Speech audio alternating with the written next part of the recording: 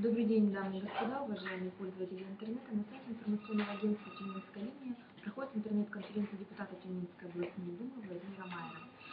Тема сегодняшней нашей интернет-конференции – депутатская деятельность Владимира Майера, работа в избирательном округе. Владимир Майер ответит на вопросы посетителей нашего сайта в режиме реального времени. Пользователи интернета смогут ознакомиться с текстовой версией конференции и посмотреть видеозапись. Здравствуйте, Владимир Яковлевич. Добрый день. Первый вопрос от Семена Тюмени. Владимир Яковлевич, бюджет на 2011 год уже принят. Какие моменты были самыми трудными при обсуждении? Каким будет бюджет этого года? Что ждет жителей региона? Собственно, любой бюджет основой является, естественно, цифрой, то есть его материальное наполнение. Хочу сказать, что когда подходили к формированию бюджета 2011 года, в основу лежали такие вещи, что мы все-таки находимся, кризис закончился, мы находимся посткризисном, так сказать, пространстве. Это не оценка не только депутатов Тюменской областной думы, но и правительства, это оценка, она соответствует и российскому руководству, и, в общем-то, в мире примерно так э, все на, на эту ситуацию смотрят. Поэтому сам кризис мы проходили с определенным резервом, и можем, наверное, сейчас сделать вывод, что не было допущено стратегических ошибок, потому что не было экономических каких-то взрывов, значит, э, или падений, не было безработицы, как бы нас не застигло, как это было там в других регионах. Более того, э, те деньги, которые были, э, были потрачены на занятость населения, они возымели свой эффект. Я почему об этом сейчас говорю? Потому что бюджет предыдущих лет, он гармонично связан 11 год с 10, 10 с 9. Поэтому формируя бюджет 2011 года, мы, естественно, подходили с тем, что мы все-таки находимся уже в несколько другой системе измерений. Нужно думать и о развитии, но и в любом случае как бы заложено в этом бюджете три основы. То есть его стабильность, значит, естественно, там есть резерв, и об этом, как говорится, это не тайна, потому что э, сам кризис показал, что нельзя последнюю копейку тратить, ну там, грубо говоря, значит, наверное, речь идет не о копейках, а более серьезных резервах. Второе, он, как всегда, социально ориентирован, то есть все социальные статьи, они закрыты 100% финансирования, но, естественно, просматривается вопрос, э, так сказать, часть бюджет развития, то есть это капитальное строительство, это новые технологии, инновации, модернизации. То есть вот три составляющие положены в основу. Но могу сказать, что мы полгода вот можно считать, что близко полгода прожили уже в 2011 году. Ошибок стратегических нет. С материальной точки зрения жители Тюменской области могут быть спокойны, потому что бюджет обеспечит нормальную стабильную жизнь. Да. А, спасибо. Следующий вопрос от Ольги из Тобольска. Она спрашивает, Владимир Яковлевич, вы имеете непосредственное отношение к строительной отрасли. Как бы вы оценили строительный рынок региона, будущее за многоэтажным или все-таки индивидуальным строительством? Вопрос, конечно, он такой специальный, как бы оценить будущее строительного рынка. Но смотрите, мы давайте исходить из того, что строительный рынок, он был подвергнут той же самой, тому же самому испытанию, э, что ну, прошли кризис. Причем у строителей это, так сказать, была большая накладка. Значит, они не перешли от э, государственного регулирования э, саморегулированию, то есть мы вступили все строители э, в частное партнерство, и теперь, так сказать, сами строители несут ответственность за, за качество, за, за все остальные гарантии. Естественно, это не могло не сказаться. Вот эти два фактора, они привели к тому, что со строительного рынка пришла, ушло примерно одна треть значит, э, участников. Ну, можно это исходить, э, считать с условием, что кто-то перерегистрировался, но примерно одна треть она ушла, она не выдержала конкуренцию, э, в том смысле экономическую, э, то есть материальные проблемы были этих организаций. Самое главное, что э, со строительного рынка, ну я бы считаю, что кризис, он при всем своем отрицании для строителей, он имеет, ну отрицательный, он имеет и положительные явления. Ушли те, которые, некоторая часть тех, которые имели, как принято говорить, ручку в руках, и регистрацию там такую отдельную, потому что ну, есть упрощенная схема. Строителем сейчас может практически каждый стать. Вот, прошу прощения. И, естественно, это не могло не сказаться, но в связи с тем, что одна треть ушла, рынок стал еще плотнее, конкуренция повысилась. Но более того, что сегодня, э, теперь э, я говорю в общем о строительном комплексе. Но строительный комплекс как бы в этой ситуации Тюменской области, он опять делится на две части. Это те, которые занимаются инвестициями, которые, ну это строительство жилья, естественно. И те, которые, э, строители, которые занимаются, просто выполняют подряды на бюджете, ну и другие подряды в частных компаниях. Здесь возникает такой интересный вопрос, значит, э, что при всем при том, что мы были в кризисе, в общем-то, или находимся в посткризисном пространстве, количество сданных квадратных метров жилья, оно, конечно, не соответствует тем планам, есть маленькое отставание, которые намечались в 2008 году. У нас задача, она очень просто определена, условно просто. То есть есть мировые стандарты, один квадратный метр на одного жителя. Мы когда начинали этот счет вести, было 0,65. Сегодня эта цифра приближается к 0,82. Но я так оперирую цифрами, чтобы было понятно. То есть нам осталось 0,18 э, сотых э, квадратного метра к плану, и мы будем иметь мировые стандарты. То есть мы сдаем при тысяч, миллион четыреста пятидесяти, условно, цифру можно принять жителей, мы сейчас даем 1 миллион 160 тысяч квадратных метров жилья. Причем ежегодно этот рост был объективно, так сказать, э, обозначен, ну, наверное, может быть, заделом, может быть, э, чем-то другим. Теперь внутри этой проблемы еще надо сказать, что, в общем-то, для Тюменской области очень характерно, ну, это э, президент давал такие, так скажем, указания, что 35% жилья вот из данного должно быть скажем, малоэтажное строительство. В Тюменской области эта э, цифра подходит где-то 40. Теперь возникает вопрос. Естественно, на готовой площадке застройщику, инвестору легче строить многоэтажки. Но дело в том, что э, здесь же есть э, как бы перекосы в этом вопросе. А кто будет заниматься строительством индивидуального жилья? Я думаю, в будущем э, сейчас уже определились такие подходы. Ну вот сельской местности, например. Там многие строят индивидуальное жилье. Вообще, ну скажем, с точки зрения экстенсивного пути развития, многоэтажки строить выгоднее. Но э, объективный ход событий заставляет думать, мы же должны вообще, 21 век это не экстенсивный путь развития, а интенсивный. То есть мы должны расширять э, спектр услуг для тех, для кого мы строим. Поэтому я думаю, что рынок все время будет балансировать. Э, в зависимости от того, где будет выгодно, и вот здесь возникает самый вот такой главный вопрос, мне кажется, в Тюменской области, ну мне просто не кажется, я даже в этом уверен, очень много сделано для того, чтобы строители могли, э, застройщики вернее, тут строители они все-таки это подрядчики, застройщик мог, э, ну скажем, достаточно э, свободно э, строить жилье с точки зрения того, что сделана инженерная подготовка, то есть подведены инженерные коммуникации. Кроме Тюмени, фактически за счет бюджета области оплачиваются сносы, ну, снос жилья. Ну и, скажем, вопрос вот с предоставлением земельных участков, это тоже такой, так скажем, вопрос. Но нельзя сказать, что он так тормозится, естественно, он требует какого-то развития. Поэтому вот если эти три вопроса, которые я сейчас перечислил, будут значит, и дальше за счет бюджета решаться, мне кажется, что мы, я все-таки большой вопрос хочу закончить, мы ближайшие, ну у нас как бы цель в 2015 году мы должны выйти на цифру 1 квадратный метр на одного жителя. Что дает, это надо пояснить, что дает эта цифра? Эта цифра дает воспроизводство, то есть мы всех нуждающихся обеспечим за счет этих квадратных метров жилье, жильем, то есть есть же остро нуждающие люди. Вот. И второе, мы так, мы так э, ну скажем, рынок будет настолько заполнен, что будет все, все, кто хочет купить индивидуальное жилье, или там, скажем, значит, э, эконом жилье, они на рынке могут это жилье приобрести. Потому что сейчас часто возникает перекосы. Ну, скорее всего, в сторону дорогое жилье, э, которое на рынке определяет не только потребность того, кто хочет его приобрести, а это уже становится товаром обмена. То есть люди вкладывают деньги в жилье, там, не собираются даже там жить они вкладывают туда деньги. Это вот, э, а естественно, в данном случае выгодно в какое жилье вкладывать деньги? Выгодно вкладывать это рынок э, в дорогое жилье. А политика это должна, мы должны все-таки проводить такое. Я вот отвечаю все-таки на конец этого вопроса. Удовлетворять, в конечном итоге рынок же должен удовлетворять спрос жителей. Понятно, спасибо.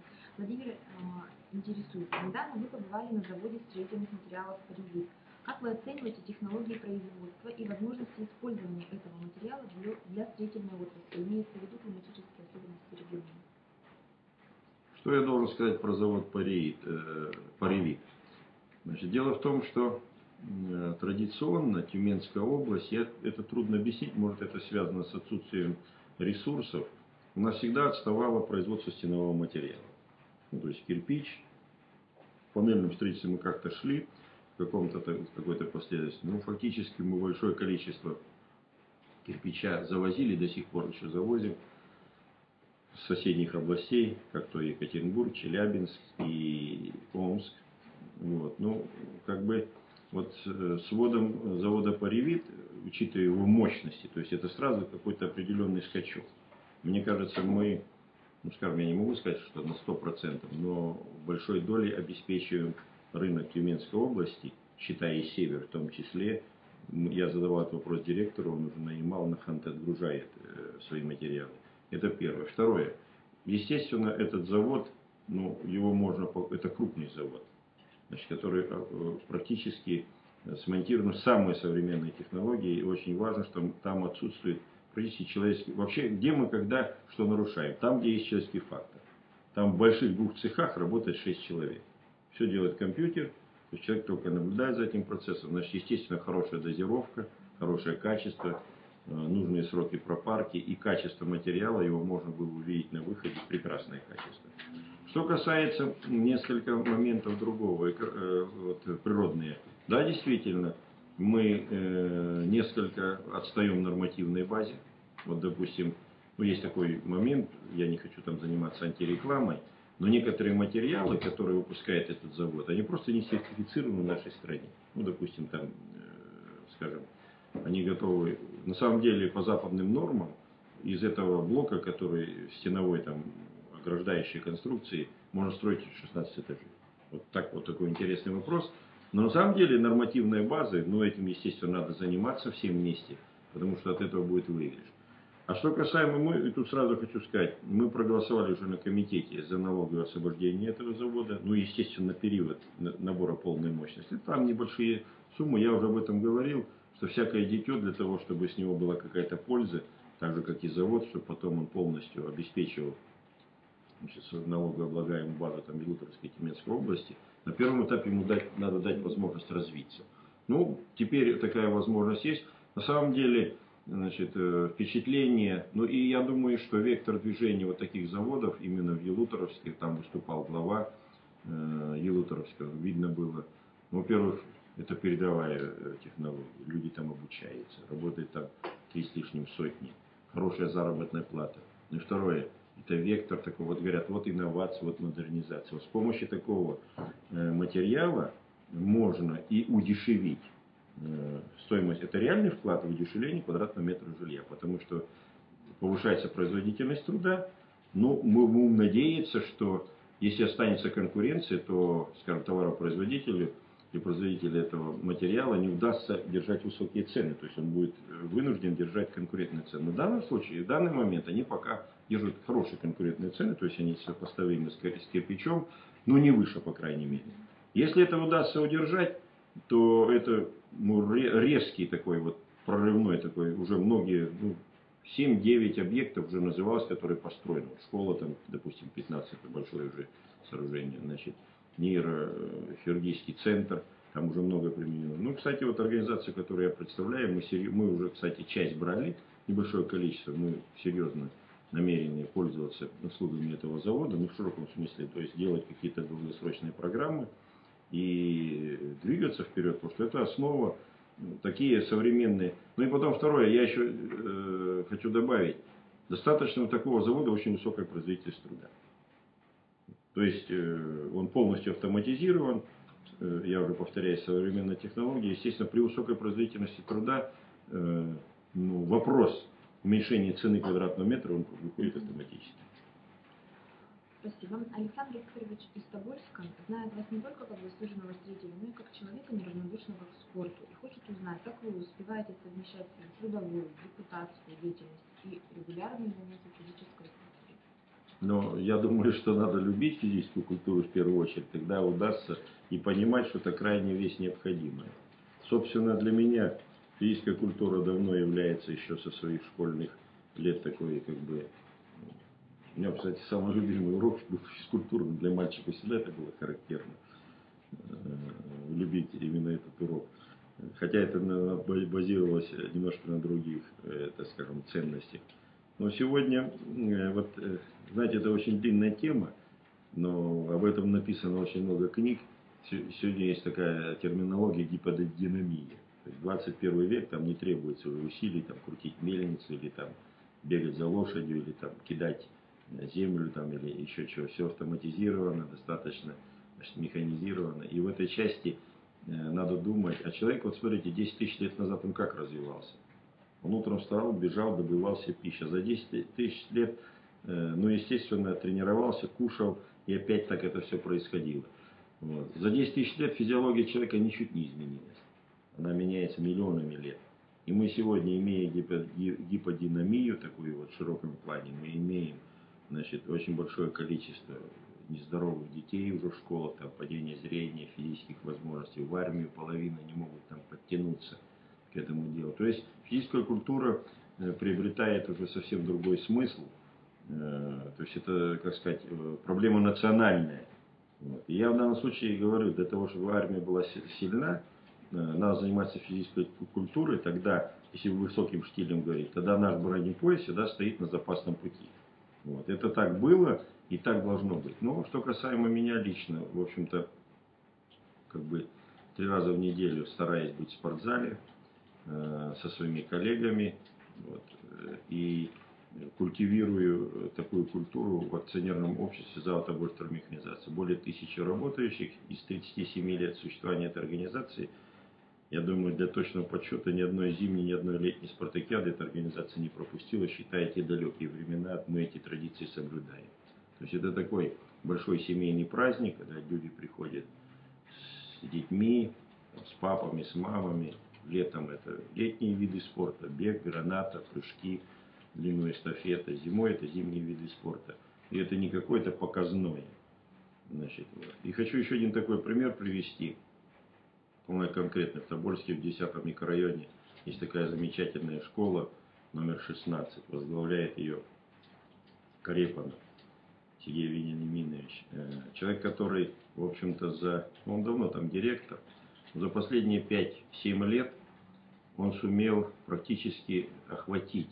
Ну так получается, что в микрорайоне это школа, это как бы центр культурный, спортивный, он охватил более 80% учащихся физической культурой по-настоящему. То есть они не только занимаются физкультурой, а 80% этих учеников ходят в секции. Но ну, мы понимаем, что два урока физкультуры это недостаточно. Кстати, могу назвать норму значит, э, из разных источников. Человек 7 часов в неделю должен заниматься физической культурой. Это, что такое в данном случае физическая культура? Это нагрузка выше среднего.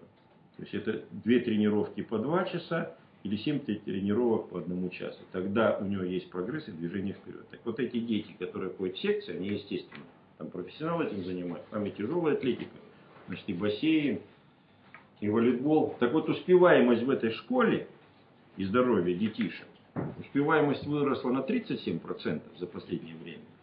Я так смело могу сказать, ну, думаю, что большое значение имеет именно вот внедрение вот этих методов. Потому что здоровый ребенок, он всегда покажет лучшие знания. Лично я в этом очень твердо убежден. И как пример это дело привожу, за что вот этому директору и коллективу искренне благодарен и готов это пропагандировать на всех, так сказать, углах и поворотах. И то, что в нашем государстве, в Тюменской области сегодня, значит, культивируется серьезно физическая культура, как стратегический путь движения вперед, вот. Это, наверное, наши успехи 21 века. У нас губернатор очень спортивный человек, в буквальном смысле слова. Естественно, за ним, так сказать, э, тянется и философия движения, значит, э, вот в этом направлении, она имеет определенный вид. Спасибо. Ирина Евсемина спрашивает. Недавно принят закон о субсидиях бюджетникам на приобретение жилья. Оцените его реализацию. Ну, собственно, на эту тему мне достаточно легко говорить в каком смысле. У нас буквально в пятницу прошла региональная э, партийная конференция «Единая России», на которой рассматривался вопрос стратегии развития Тюменской области до 2020 года. И одним из вопросов там был вопрос вот этой программы. Но тут надо немножко остановиться на некоторых деталях. Э, Эта программа значит, принята буквально вот в этом полугодии, да, и она существует на данном этапе только в Тюмени. Ну, здесь надо понять опять почему. Потому что наиболее дефицит среди бюджетников жилья, то есть высокие цены квадратного метра, потому что в муниципалитетах этот вопрос решается не- несколько по-другому. То есть он тоже решается, но пути решения там проще. На данный момент в эту программу вовлечено более 700 семей уже. И она дала первые результаты. Где-то 364 миллиона уже выделено субсидий. Но это на, я просто оперирую этими цифрами, говоря о том, что есть серьезное движение вперед. Но и губернатор, когда был задан вопрос, собственно, он определяет, так сказать, точки значит, развития таких программ. Это не программа, это закон. Принят закон. Значит, был задан вопрос, как дальнейшее расширение. Но, к моему удовольствию, там говорилось о том, э, что опыт положительный, и, э, в общем-то, возможно, что в ближайшее время такая программа будет работать и в Тобольске. Ну, отвечая так вот на вопрос, что она работает в Тюмени, будет работать и в Тобольске, у меня есть надежда, что она будет работать везде. Ну, И этим я хочу э, подчеркнуть, что это положительное движение вперед. Но здесь есть и обратная сторона медали. Надо понимать, что значит, если мы выделяем средства из бюджета для приобретения такого количества квартир, то как, э, надо понимать, что надо следить, чтобы не был э, ценовой барьер э, перед. То есть это может потребление, вернее, появится лишний потребитель, могут вырасти цены. Это очень тоже серьезный вопрос, и губернатор об этом говорил. Здесь надо очень осторожно действовать, потому что любое вливание, значит, серьезное вливание, 364 миллиона, это серьезное вливание, в общем-то, э, в рынок строительства. Это мы же при рыночной экономике живем. Она, к сожалению, вернее, к счастью, она рынок как бы сам регулирует, но в данном случае все равно контроль за этим делом должен быть, и поэтому к этому вопросу надо ну, подходить, скажем, осторожно. Это не значит, что ее не надо развивать, но об этом надо все время иметь в виду. Ну и второй вопрос, который здесь, естественно, есть и подводные камни. Мы все понимаем, что такое доступное жилье, в данном случае речь идет о доступном жилье. Значит, и что такое комфортное жилье, и что у нас на рынке есть. И комфортное жилье в данном случае, вернее, доступное жилье в данном случае не только речь идет о том, что бы, скажем, был нормальный дешевый квадратный метр, это само собой, ну, как сказать, приемлемая была цена. Вот. А речь еще идет о том, чтобы были квартиры, которые значит, соответствуют по размеру. Ну, то есть семья из двух человек, из трех человек, из четырех человек и так далее. То есть м, малогабаритное, там, скажем, вот можно вот так назвать жилье. Здесь тоже на рынке есть определенные проблемы, потому что оно в дефиците. Такое жилье на рынке в дефиците, оно всегда востребовано. И здесь попасть бюджетнику. Но над этим надо работать, и я думаю, что эта программа будет работать, или этот закон, так сказать. Кстати, из всех тех программ, которые работают э, в Тюменской области именно за счет бюджета, я имею в виду на жилье, это будет шестая программа. То есть я могу сказать, это ветхое жилье, значит, это ветераны войны, э, дети-сироты, ну и так далее, которые э, и эти отдельные программы существуют, они работали, вот этот вот закон идет к этому плюсу. То есть это, скажем, для э, рынка строительства жилья это дополнительный такой, скажем, стимул, там, значит, э, загрузка. Ангелину из Тюмени волнует такой вопрос. Владимир Яковлевич, завершается весенняя сессия работы областной думы. Как вы оцениваете прошедший парламентский сезон? Назовите наиболее значимые, на ваш взгляд, решения, которые приняли народные избрания. Ну, действительно, мы отработали, вот у нас не делится как бы там э, периоды. Ну, год, собственно, получается, мы, мы отработали. Вот. И по бюджету, я уже как, как бы говорил, э, и, естественно, здесь мы вступаем в такую фазу пост- посткризисного пространства, или, вернее, э, значит, такое явление, И мы, все, что уже было сказано, я только могу, так сказать, добавить к этому. Но, естественно, мы понимаем, что впереди э, серьезные... То есть вся работа, э, то есть надо объективно подходить. э, Думы, она, естественно, связана и с политикой в том числе. То есть сейчас идет активизация в обществе. Значит, э, то есть у нас впереди серьезные выборы в региональную думу, в Государственную думу в 2012 году. У нас, естественно, это, как известно, в марте 2012 года у нас выборы лидера государства. И вот эта вот, скажем, политическая активность всех партий, включая Единую Россию, активность населения, то есть по, ты по-другому идет другое мироощущение. Это вполне нормальный процесс, во всем мире это происходит, потому что ну, у нас достаточно в некотором смысле э, значит, много, много новшеств, но достаточно свободной волеизъявления то есть людей. То есть человек может прийти там, голосовать, говорить, выступать, защищать свои интересы. И может быть вот это тоже накладывает определенный отпечаток на работу Думы. И вот это в этом периоде, значит, который проходил, э, скажем, вот, первая половина 2011 года, это уже ощущалось. Ну а так э, заканчивается, что у нас э, вот, э, главное? Заканчивается учебный год. Естественно, впереди обыкновенные житейские вещи. Надо отремонтировать школу. На это надо предусмотреть средства. Значит, надо сделать благоустройство. Надо э, подготовить все объекты к зиме. То есть это водоснабжение, водоотведение, теплоснабжение, энерго, так сказать, сказать, обеспечение. Мы прожили нормально, абсолютно нормально зиму. То есть я тут не видел по Тюменской области никаких-то там. То есть я говорю о тех прикладных вещах. Естественно, рассматривая на, комитете, на бюджетном комитете эти вопросы, вот на эти вещи обращается самое серьезное внимание. То есть количество, кстати, растет количество учеников. Очень серьезный вопрос, который мы сегодня имеем. Ну, казалось бы, всего каких-нибудь 10 лет назад мы детские садики там переводили в другое значит, предназначение. Кстати, в Тобольске был такой момент, ну, то есть мало детей, садики пустуют, из двух организовываются, из трех, вернее, организовывается два. Сегодня ситуация резко повернулась, и дефицит детских садов по всей Тюменской области, по Тюмени, в том числе по Тобольску, он стал стратегическим вопросом. Причем надо понимать, что мы уже сейчас просматриваем дефицит в последующие годы. Ну, демография Тюменской области, слава богу, прирастать стала по, за счет э, рождаемости. Вот, особенно э, и Тюмени, и Тобольск. Естественно, дефицит детских садиков, поэтому надо предусматривать строительство новых, то есть загрузку тех или дефицит э, перекрывать наличием то, что есть там, отремонтировать. В Тобольске, кстати, два садика ремонтируются, и, кстати, две школы, которые строились 30 лет назад, если говорить про Тобольск. Вот. А с другой стороны, надо смотреть и строительство новых, потому что ну, это вполне нормальный процесс. Детские сады – это крайняя необходимость э, в про- в процессе э, развития. Ну и что бы еще хотел сказать, что вот чем э, ознаменовывается эта работа. Очень приятно отметить, ну, в бюджете есть такое понимание защищенной статьи.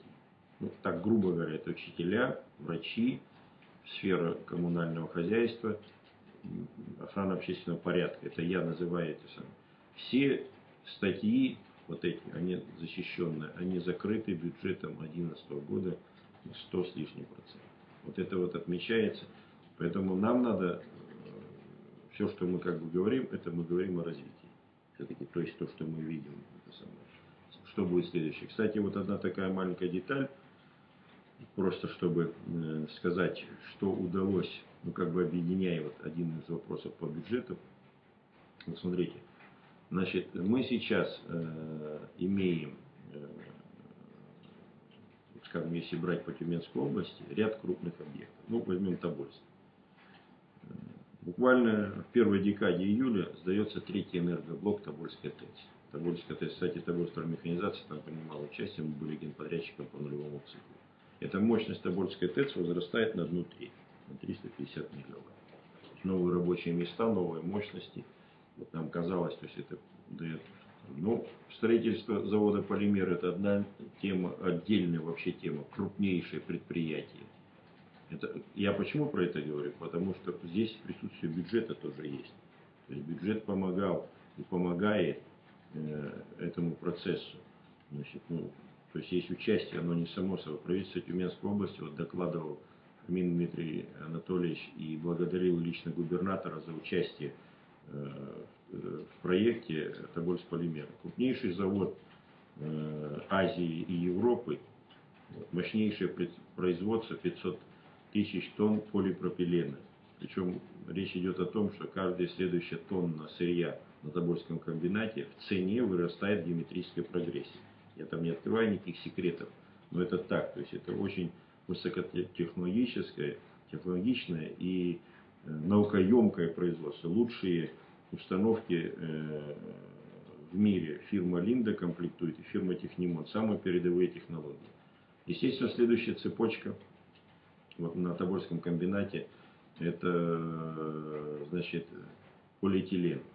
То есть э, полимеры вот, на товары народного потребления, ну, грубо, грубо говоря, там бампер, стульчик, э, кресло, там, ведерко, это очень грубо в понимании. То есть для чего делается этот полипропилен? Из него вот это все, что нас окружает, делается. Дальше идет развитие полистирола.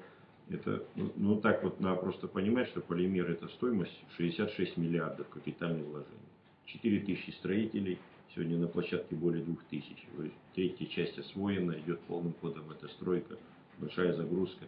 Следующим идет производство полистирола примерно на, в три раза дороже, ну имеется больше капитальных вложений, то есть и это уже не какие-то там, это сам. Параллельно идет вторая очередь развития ЦГФУ, ну кто знаком с нефтехимией, то есть тот центральная газофракционирующая установка, которая еще была построена в советское время, которая обеспечит работу всего промышленного узла. Сегодня недостаточно перерабатывать сырья, чтобы следующую цепочку вот, э, полистирола запускать.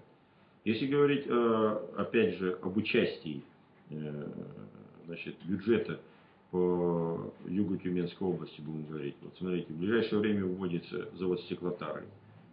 Продолжилось строительство, э, вернее, работает завод Бинтек, это, который производит, он мощность набирает, производит 5 буровых вышек, ну, чтобы было понимание, каждая вышка весит 2000 тонн э, металлических конструкций.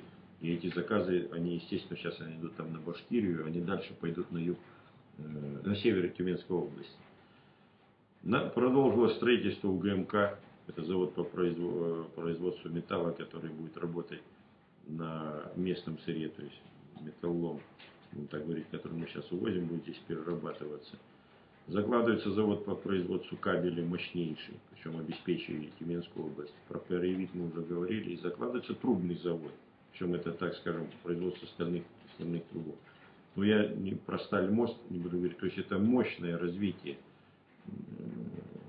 промышленности в Тюменской области, которое, естественно, обеспечит рост налогооблагаемой базы, обеспечит рост рабочих мест, естественно, зарплаты – ну и превратит э, Тюменскую область в новые, там, скажем, предназначения. То есть мы будем выглядеть, вот, ну я опять вернусь, скажем, Тобольску, такие мощные производства, конечно, дают огромный толчок для развития города, для науки, для, то есть появятся опять э, инженеры, значит, нефтехимики, энергетики, ну и так далее. То есть это большое, это вот это то, что намечено движение вперед. И я это все увязываю, это не какие-то там пустые, э, все это родилось не на голом месте. То есть инвестор идет туда, где его понимает, чувствует и где он видит свою перспективу. В данном случае, вот я про инвестиции эти говорил, говорю, и это связано тоже с политикой правительства Тюменской области и областной думы. То есть создание благоприятного инвестиционного климата – это один из основных, наверное, стратегических вопросов, которые решает в том числе и руководство области, и опять же скажу, и депутат областной думы. Спасибо. Александр из Тюменского района спрашивает. Статистика показывает, что с вводом жилья в Тюменской области все не так печально, как в других регионах. Но доступно ли это жилье населению? Ну, Александру спасибо за этот вопрос. Весь мир ломает голову, особенно Россия, на, на как сделать жилье дешевле и более доступнее в данном случае. Скажу, что здесь действует очень много факторов. Вот э, немножко э, поверну эту тему с другой стороны. Знаете, как можно крокодила мерить с головы до хвоста, можно мерить ее с, головы, э, с хвоста до головы. В данном случае часто смотрят на строителей и говорят, что вот они там, так скажем, завышает цену. Строитель, э, вот вопросы ценообразования, я думаю, занимает примерно от 25 до 30 процентов. Он может влиять на вопрос цены. И это от него зависит. То есть это производительность труда, хорошие материалы, качественные, значит, выполнение работы в срок, это зависит от строителя. Все остальное, которое вкладывается, цена земли, налоги, э, значит, вот, риэлторские услуги, рыночная цена объекта, цен, деньги, которые инвестора, застройщика, банковский процент, просрочки там все прочее. Вот я, видите, вот, я три вопроса от строителя, а восемь вопросов так на ходу уже накидал, которые, которые я не собираюсь там защищать свою профессию или я просто пытаюсь этим объяснить, как складывается цена квадратного метра. Я думаю, что надо сделать так, и мы к этому идем, чтобы было выгодно продавать дешево. Или строить, вернее, строить дешево. Нет, в данном случае сегодня во многом вот этот экстенсивный путь развития экономики в нашей стране, он толкает всех на рост цены. То есть чем вроде как ты больше э, продашь, э, тем ты, значит, это же опять обосновано конкуренцией, то есть отсутствием конкуренции. Если будет больше строиться, будет больше конкуренции, естественно, цена будет стабилизироваться. Но выступая вот с такой трибуны и сказать, что завтра будет жилье дешевле, чем оно сегодня, значит, было бы ну, очень с моей стороны, потому что я этим делом, помимо того, что политика, я этим делом занимаюсь еще профессионально, я вам скажу так. Вот есть цены 2001 года, ну, маленький так вот, как бы тайну открою. Так вот, рыночный коэффициент в цене 2001 года, он составляет 6. Это значит, с 2001 года строительные э, услуги выросли практически в 6 раз. Ну, близко, плюс-минус, мы говорим о порядке. Это же не услуги строителя выросли, это выросла монопольная цена электроэнергии, газа, железной дороги, значит, э, ГСМ, земли и так далее. Я сейчас не говорю только про строительство жилья. Естественно, это, это зависимая цифра от инфляции.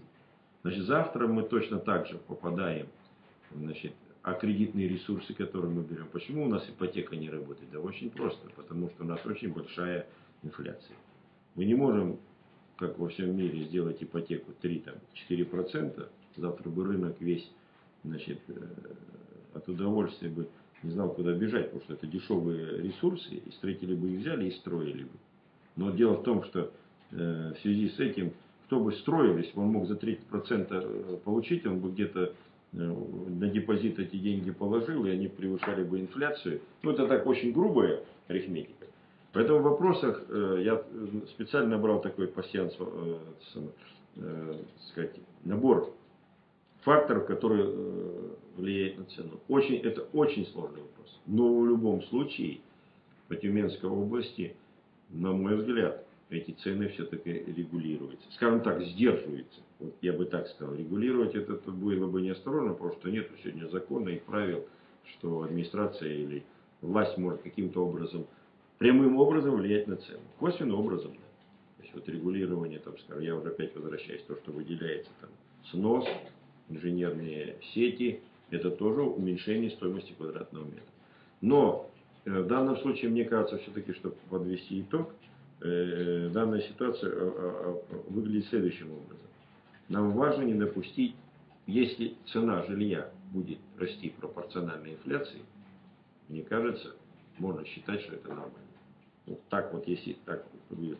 Если только, то есть, ну, нельзя сказать, что инфляция будет больше, цена будет меньше. Это надо понимать. Если это будет э, перекос, то есть это будет больше инфляции, значит получается, что не удалось это сдержать. Факторов очень много. Но я прогнозирую все-таки э, стабильный рост цен. То есть ро, цена будет все время расти. Это не, вещь неизбежная, что она, тут есть законы экономики, одно тянется за другим растет инфляция, значит, то есть материалы дорожают, услуги дорожают, зарплата растет, я имею в виду тем строителям, которые значит, работают, естественно, будет расти цена квадратного метра. Спасибо. Сообщение от Алексея Константиновича из Тобольска. С какими вопросами к вам обращаются люди? Бывают случаи, когда просьбы избирателей э, в каких-то ситуациях ставят вас в тупик? Вопросы, ну, скажем так, э, да, действительно, для депутата, значит, э, вот именно вопросы тех жители или избиратели, с кем ему приходится с- сталкиваться, в общем, по, своей, по своим обязанностям, это, ну, скажем, какая-то часть обязательной, обязательной его работы. Получается, что приходится общаться более чем с тысячей человек, примерно, я опять беру цифру, там есть точные подсчеты в год. Но люди идут со всеми вопросами. В основном это быт, это коммуналка. Вот очень серьезный вопрос это коммунальное хозяйство. Причем, когда тебе задают вопрос, который там связан с теми функциями, которые выполняет депутат, это понятно. Часто попадают те вопросы, на которые, ну, скажем, предыдущая власть муниципальная, может быть, не всегда дала как бы исчерпывающие ответы. Я сейчас в данном случае не говорю о руководстве города или поселка. Я говорю о том, что значит, мне кажется, что в последнее время мы все-таки больше стали поворачиваться так сказать, к потребности или к требованию жизни. И это я рассчитываю как положительный вектор. Но остаются те вопросы, значит, которые, они всегда будут, и, и, и э, они меняются, кстати. Если люди раньше шли от, ну- в основном от нужды, то вот от нужды как-то уже перспективных вопросов много. То есть это побольше. Ну и вот я тебе, э, вам хочу сказать теперь про те вопросы, которые вы там, получается, затрудненные ответы. Да, такие вопросы, они особо рвут, так сказать, сердце и душу любого нормального человека. Но это, как правило, те вопросы, которые ушли из прошлого. У нас же, я не то, что хочу там на предыдущие кивнуть дела, но бывает человек там жил, ну, условно говоря, в каких-то условиях, там под снос попадает, а тут еще пожар, вот, типа вот этого, а он не стоял на очереди. Вот возникает вопрос вот такое, а ему надо. Ну, сейчас такое дается уже и жилье как бы временное, приспосабливается власть к этому делу, чего раньше не было. Есть какой- какой-то резервный фонд.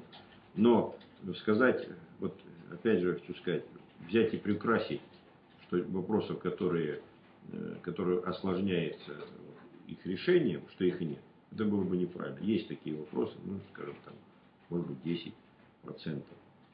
Но тоже пытаешься человеку как-то объяснить, ищешь выход из этого положения. Выход ведь всегда есть. Даже с человеком поговорить, объяснить ему ситуацию, дать какую-то надежду и попытаться ее потом решить, это тоже. Я, я не говорю, что это должно быть основной сферой деятельности. Процент вопросов, которые мы решаем, ну, они где-то вот 65-70% людей, люди, которые обращаются, мы пытаем, мы на эти вопросы отвечаем, если они попадают там, значит, уже в поле зрения депутатов, в любом случае мы должны получить остальные. Есть вопросы, которые ну, как бы не фигурировала эта тема, у которой там, ну, приходят люди и говорят, например, давайте построим мост. Ну, ясно дело, что такой вопрос не решается, там, если вот, ну, мост это совсем другая, там, или какую-то дорогу там большую, или мощный газопровод. Люди с таким тоже приходят. Ну, по, по крайней мере, помечаешь, потом смотришь, проходят какие-то годы, если эта мысль существует, и действительно есть кому ездить через этот мост, то надо делать проект, там еще все прочее. Так что депутатам есть над чем работать. В любом случае депутат должен отвечать на заданные вопросы. Спасибо. Сергей Семенин хочет знать, что вы конкретно сделали для Тобольска как депутат областной думы от этого города? Ну, это вопрос такой несколько для меня новый, что я сделал как депутат областной думы. Но я могу сказать, вот в тех проектах, которые я сегодня перечислил, э, вот, ну, больших проектах, в частности, э, Тобольск полимер, строительство третьего энергоблока. Вот. Я принимал участие как генеральный директор, как депутат областной думы. Не могу сказать, что это моя заслуга, было бы это вообще не, не, не красиво с моей стороны. Вот. Но вот представляя по большому счету город Тобольск, мне кажется, его очень легко представлять, потому что это город такой, ну, я отдал ему 35 лет своей, так сказать, жизни, всей сознательной, и считаю, что, скажем, ну, как бы, как сказать, кое-что там знаю. Развитие его, бюджет, со многими людьми знаком. И вот э, такой город, он заслуживает вот, э, когда касается именно города Тобольска, я смотрю, как реагируют депутаты областной думы на это дело. Историческо-культурный центр, значит, э, мощно развивающийся промышленный город. Он получает, ну, я, я бы так сказал, может быть, это неправильно говорить об этом вслух, он имеет какой-то определенный приоритет. Когда мне как депутату, если возникают вопросы, мне не надо сильно своих коллег, как говорится, агитировать, но особенно в тех вопросах, которые уже, так скажем, двигаются. Это самое. Ну, еще что могу сказать. Завод механизация давно, я, потому что это все-таки тысячу с лишним работающих, это пять тысяч населения, кровно связано с этой организацией, не считая наших субподрядчиков. Мы выполняем примерно больше 35% объема капитальных вложений в городе Тобольске уже многие годы. То есть мы там зарегистрируем, платим налоги. Годовая оплата налогов там, от 150 до 200 миллионов. Значит, мы каким-то образом влияем на экономику значит, города. У нас из давних пор есть подшефный садик в восьмом микрорайоне, есть подшефная школа. Мы со дня ее строительства, когда мы ее ввели, мы там являемся шефами. Ну, и та возмездная, безвозмездная помощь, которая оказывается городу Тобольску. И для меня составляет особое Э, гордость, могу сказать, я еще буду, будучи депутатом городской думы, поставил как бы цель, и я всегда так, я вырос в селе, придерживался мнению, что в микрорайоне школа это не просто учебное заведение, это центр культуры, центр, значит, единой какой-то мысли, способности людям, ну, примерно третья часть жителей, это до половины, связана со школой через внуков, детишек там, вот, э, с учителями, или сами ее как бы заканчивали. И у меня была такая э, голубая мечта, вот 12 школу, которая в 8 микрорайоне, в котором я живу сам, значит, сделать ее полностью спортивной. Так вот я вам скажу, хочу сказать, два спортзала, стадион, баскетбольная площадка, теннисный корт, два теннисных корта и хоккейный корт вся школа полностью застроена спортивными сооружениями, я к этому делу могу смело сказать руку приложить. То есть дети, которые бегают, играют в хоккей или в теннис, или гоняют в футбол, они завтра не побегут за пивом и не будут колоться. Я бы считал, что вот это один из аналогов, ну, как надо бы. Это не так много, это всего лишь одно из направлений, что школы. Кстати, вот среднее образование в Тобольске традиционно одно из самых сильных в Тюменской области. Я не говорю уж о том, что гимназия 10 она бывала, второй в России мы берем это самое. Это связано с чем? Новые школы, новое население.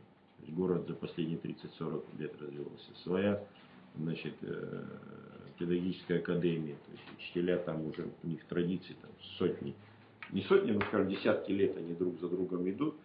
И, естественно, если брать развитие города и его культурную составляющую, скажем, философское развитие города, то в школах во многом формируется и будущее. В данном случае, наверное, если говорить о том, что кто-то должен значит, это дело двигать, и, в общем-то, надо радоваться, что это так происходит. Спасибо. А Марина из Тобольского района спрашивает, какие вообще областные региональные программы реализуются на территории Тобольска и Тобольского района? Но я как хочу сказать, вообще существует 36 базовых программ Тюменской области. Они все находятся в работе. Вот. И э, э, вот здесь есть такая маленькая деталь. Очень важно подчеркнуть, что когда был, ну, как бы кризис случился, все это начиналось, я много об этом сегодня говорю, ну, потому что пришлось сопереживать этот процесс в восьмом году.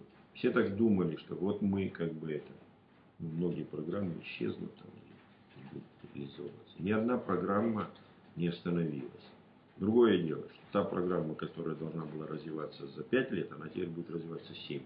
Вот, наверное, нормальный любой человек поймет, если был дефицит финансов, но все программы работают. Но я думаю, что для Тобольска, Тобольского района очень важным, существенным является вот, программа здоровья, Значит, развитие агропромышленного комплекса, я имею в виду э, для Тобольского района, и, скажем, доступное комфортное жилье и программа образования, ну, я называю четыре государственных программы.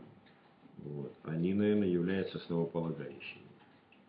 Все остальное это увязано, вот, понимаете, э, я уже много сегодня говорил про бюджет, Э, то есть сегодня нет э, закона или программы отдельно развивающей бю- бюджеты. То есть вот сами программы и бюджет это гармонично сложившаяся такая, скажем, система управления финансами и внедрения. Но я такой один характерный пример хочу привести. Фактически, что, в общем-то, все школы Юго-Тюменской области, ну, мы в данном случае говорим про бюджет Юго-Тюменской области, они вот последние, там, скажем, 5, 7, 10 лет было четко намечено, они все соответствуют стандартам. Мы недавно проводили конкурс, и в Тобольске в том числе, по детским садикам в районе, Тобольском районе, надо сказать. Вот детские садики, да, ну, казалось бы, да, они там, не, не, конечно, не все из кирпича, как в городе, и не все они новые, но они все покрашены, отремонтированы деревянные садики.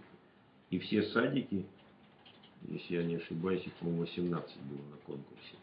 Все садики приняли участие в этом э, конкурсе и показали неплохие результаты. Это о чем говорит? Что достаточно активно мы занимаемся там, базой детские садики и школы. Ну а про школы, вот мне пришлось в прошлом году, я был на 40-летие окончания своей школы в Краснодарском крае. Ну вот край такой, как бы это самое. Ну, вот школа, к сожалению, меня это так опечалило, конечно. У нас таких школ нет. Уже было середина лета, не отремонтировано как-то так вот, не по-хозяйски все это там в селе. Потому что вот отстает. У нас вот с этим делом, именно в Тюменской области, насколько вот я вижу, где бы я ни сталкивался, мы сейчас обновляем, там, не просто там ремонтируем, мы их обновляем, то есть идет процесс обновления и оснащения школ современным оборудованием и все прочее. Поэтому я вот так вот это все. Спасибо. А, Михаил из Сургута интересуется. Владимир Яковлевич Тобольский планирует создать особую экономическую зону. Какие задачи ставят власти региона и какие перспективы вы можете назвать? Но вот знаете, что касаемо особой экономической зоны город Тобольск, вопрос достаточно новый. Но я думаю, это связано, есть такие законы экономические, э, которые, ну, или э, методы наверное, экономики, которые дают ну, какому-то отдельному производству, региону дополнительное развитие. В данном случае, вот я так считаю, об этом я очень рад, что могу об этом, как говорится, сегодня говорить с положительной точки зрения. Еще в советское время был заложен мощный промышленный узел. Вот, э, берем 60-е годы, нефть, газ, нестабильный газовый конденсат, его так называют, или углеводородное сырье, значит, которое там еще при Косыгине сжигалось на самых, естественно, экология, все прочее там отрицательно, и это деньги на ветер. Но это было объективно связано с тем, что сначала шло развитие, это я никаким образом не хочу критиковать советскую власть. В советское время был заложен Тобольский химический комбинат мощнейший. Я, кстати, стоял у истоков начала его строительства, я приехал в Тобольск в 1976 году, и наш экскаваторщик, он вынял первый ковш грунта Тобольского комбината. Я был с ним, к сожалению, сейчас уже не живой этот человек. Я почему об этом так подробно останавливаюсь? Потому что переработка углеводородного сырья всего севера Тюменской области сосредоточена теперь в Тобольске. И Тобольский комбинат до недавнего времени он был ну, развит примерно на 50%. Не сказать, что он не был доразвит. Просто нефтехимия, она так устроена, она идет квадратами. Квадрат примерно 400 на 400. И кто учился в 10 классе и помнит, это разложение углеводородного сырья по цепочке CH4.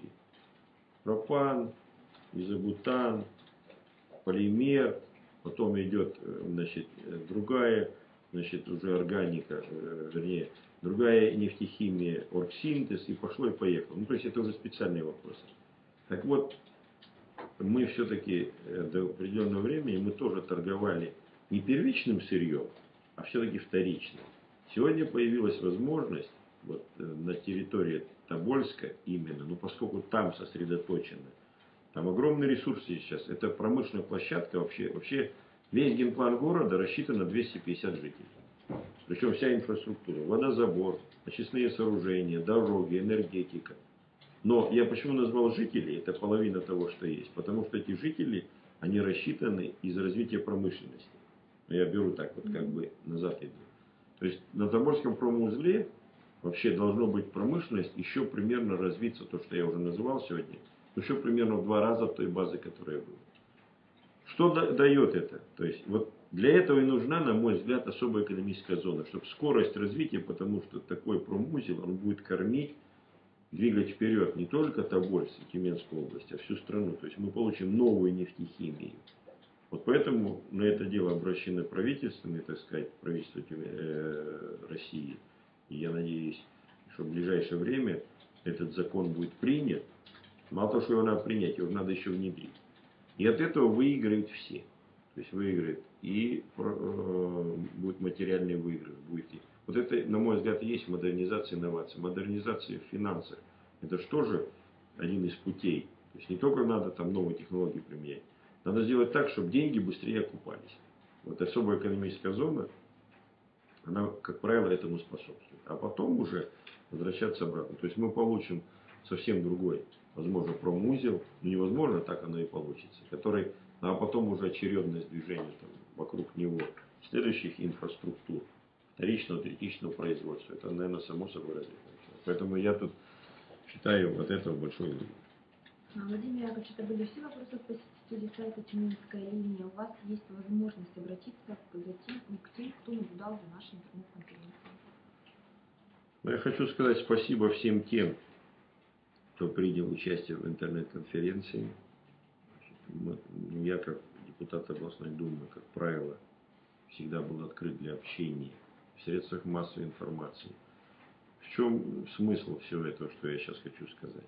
Если мы хотим что-то изменить, то нужна активность, потому что все меняет люди. 21 век ставит перед нами новые задачи, абсолютно новые задачи. То есть у нас появились такие возможности, которых у нас не было в 20 веке. То есть та настоящая демократия, которая нам дана, тот огромный потенциал, который имеет Россия, в данном случае Тюменская область, он э, предполагает, что мы можем двигаться вперед. Мне бы хотелось отмести вот в таком вот обращении все то, что, ну, скажем, есть отрицательно, все эти трудности. Не все так просто.